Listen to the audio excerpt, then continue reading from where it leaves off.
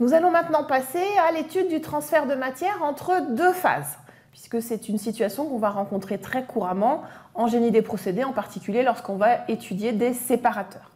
Alors, on va définir la notion de coefficient de transfert global, et puis on va parler également d'air interfacial.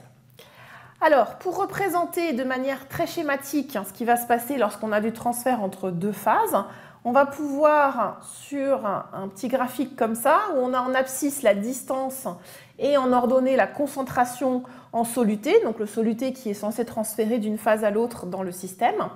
On a euh, représenté ici, avec ce petit trait vertical, l'interface entre euh, les deux fluides. On va pouvoir représenter le profil de concentration du côté de la phase liquide, donc loin de l'interface, on va avoir une concentration qu'on va noter CL infini et qui, loin de l'interface, est uniforme. Et puis lorsqu'on va s'approcher de l'interface, ben, on va avoir un gradient de concentration. C'est d'ailleurs ça qui va générer le transfert. Vous savez bien que c'est dans cette couche limite où on a un gradient que l'on va avoir le transfert qui va se produire. Et donc ici, je symbolise euh, la couche limite côté liquide, le film liquide, donc sachant que j'ai mis la phase liquide de ce côté-là.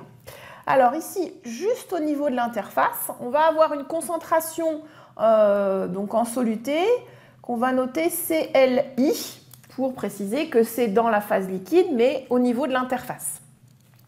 De l'autre côté de l'interface, donc j'ai ma phase, euh, mettons que ce soit une vapeur.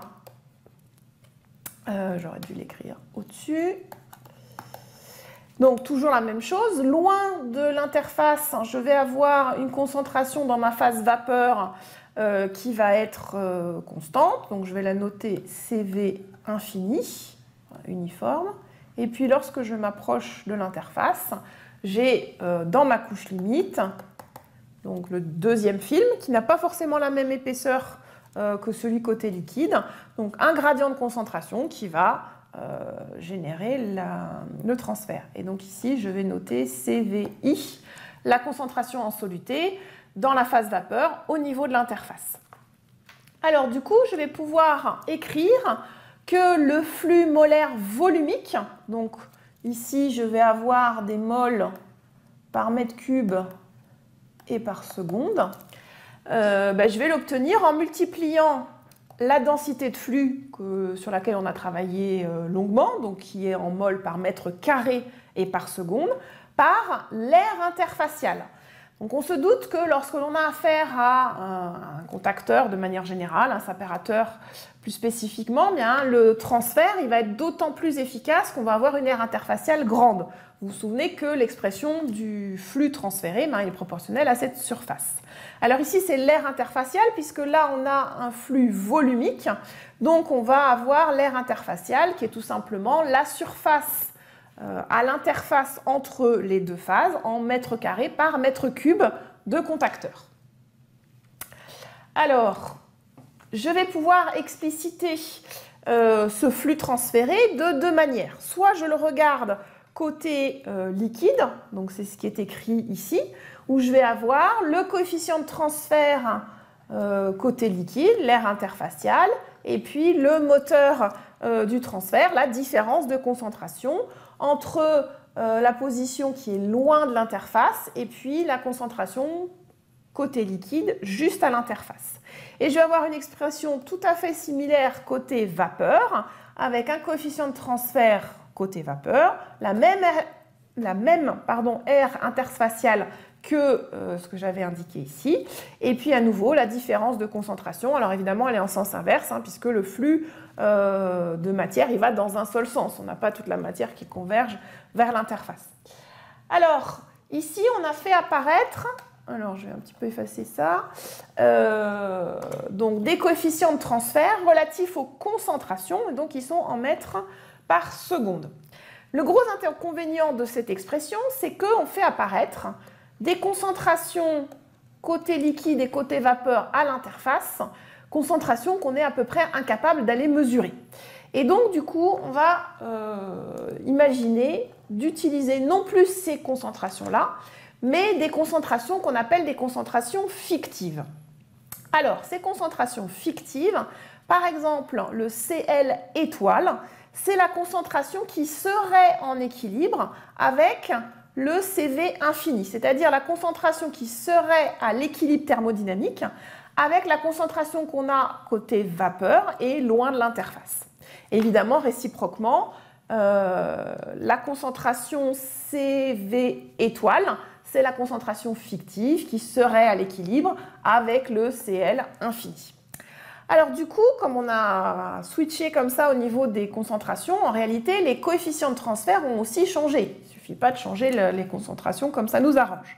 Et donc on fait apparaître la notion de coefficient de transfert global.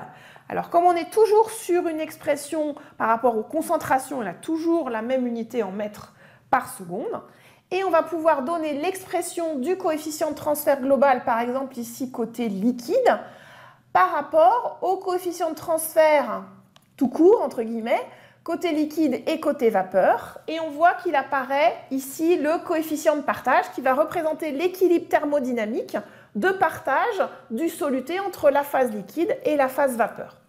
Et on a une expression du même style pour pouvoir obtenir le coefficient de transfert global côté vapeur. Vous voyez qu'on retrouve les deux coefficients de transfert et le coefficient de partage, mais avec une expression qui est un petit peu différente. Alors, va se poser la question de déterminer les paramètres qui apparaissent dans ces différentes équations. Alors, pour les coefficients de transfert, je vous en ai déjà longuement parlé, on va pouvoir utiliser des corrélations de la littérature. Si on a la chance de disposer d'un pilote euh, représentant l'opération sur laquelle on veut travailler, on peut essayer de, déterminer expérimentalement ces coefficients de transfert, euh, soit de manière macroscopique, des coefficients moyens, voire même, si on a des équipements euh, particulièrement sophistiqués, essayer d'accéder aux coefficients de transfert locaux. En ce qui concerne l'air interfacial, pour la déterminer, il va falloir faire appel à des modèles assez complexes. Supposons toujours mon cas euh, euh, d'un gaz dans un liquide. On va avoir des problématiques de coalescence de bulles, on va avoir des problématiques de savoir quel est le modèle d'ascension des bulles à l'intérieur du liquide. Est-ce que c'est le modèle de la bulle de Taylor? Est-ce qu'il faut prendre quelque chose de plus compliqué? Bref, on a très vite des choses très complexes. Alors qu'en réalité, dans les expressions que je vous ai montrées, on a toujours le coefficient de transfert qui est associé à l'air interfacial. On n'a pas besoin de connaître indépendamment la valeur du coefficient de transfert et de l'air interfacial. Si on est capable de déterminer le produit des deux, le K fois A, eh bien, c'est suffisant pour l'utilisation dans les relations que je vous ai montrées pour calculer les flux euh, volumiques transférés. Et du coup, on a mis au point des méthodes expérimentales pour déterminer le KA. Euh, on parle beaucoup du KLA par exemple pour la phase liquide, euh, donc pour mesurer expérimentalement, soit par des méthodes physiques euh, qui ont existé autrefois et qui sont revenues au goût du jour avec le développement intéressant des systèmes d'analyse d'image et des systèmes de prise de vue. Donc on peut déterminer donc ce produit KA avec une méthode physique ou bien une méthode chimique très éprouvée et assez bien connue qu'on appelle la méthode des sulfites. Vous pourrez aussi en trouver dans la littérature quelques autres. Donc vous voyez que lorsque l'on s'intéresse au transfert euh, d'un soluté entre deux phases, ici j'ai pris l'exemple d'une phase liquide, d'une phase vapeur, mais on pourrait avoir la même chose entre deux phases liquides immiscibles, eh bien on a tout de suite des choses un petit peu plus complexes évidemment on va avoir des combinaisons de phénomènes et donc la définition d'un coefficient de transfert global qui va représenter ce qui va se passer à la fois côté d'un côté d'un fluide et de l'autre. Ici, c'était liquide et vapeur. Et puis, on va représenter euh, l'équilibre thermodynamique au niveau de l'interface. Donc, on peut faire le parallèle avec ce qui se passe dans un échangeur thermique. Euh, si vous prenez un échangeur tubulaire, par exemple, vous avez vu qu'on peut définir la convection du liquide dans les tubes, la convection du liquide dans la calandre, et puis on a parlé de conduction par exemple au niveau de la paroi.